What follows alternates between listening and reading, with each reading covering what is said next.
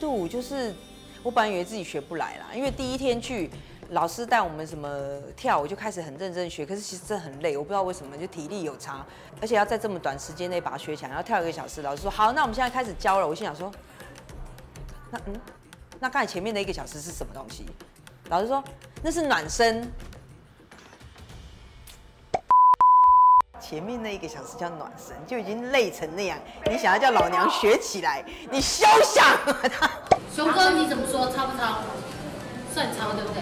算超，他摇头哎，他不算的。但是后来我很高兴，我们有一起完成，哎，很有模有样的哎，大家就有一种像不像三分样，就演员的某一种魔力还是在的。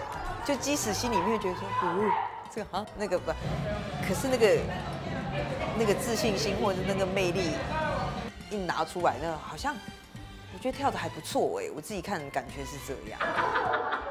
跳跳跳，夜夜深，夜深，然后夜深，演完整个嘴巴都是眼。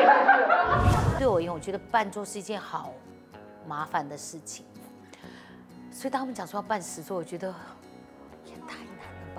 我想说十桌要怎么做这样子，然后要有多少事情要忙这样子，然后其实我很担心那时间来不来得及，然后最后发现，嘿。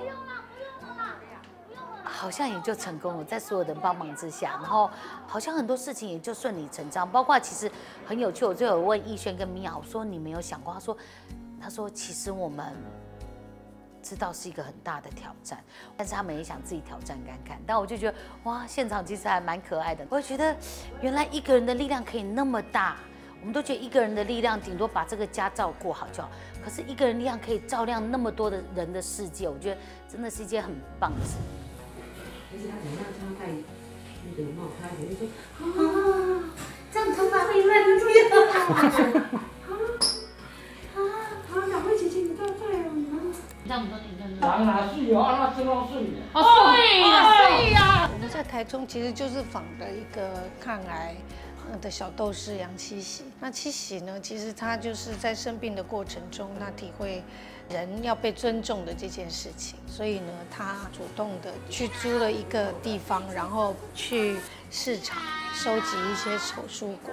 这一些丑蔬果其实是可以再被制作成食物，然后被利用的。他就希望这件事情。可以一直延续下去。在这个过程，其实他希望成立一个无家者的庇护所，让这些无家者能够找回自己人生的价值，做这样的一件事情。然后其实是启发大家，就是让大家知道，在一个一个这样的城市里面，有一个抗癌的小斗士杨奇喜，他在做一件为社会、为这些。无家者有意义的事情，在帮他们找回他们人生的价值，同时也帮助许多弱势的人。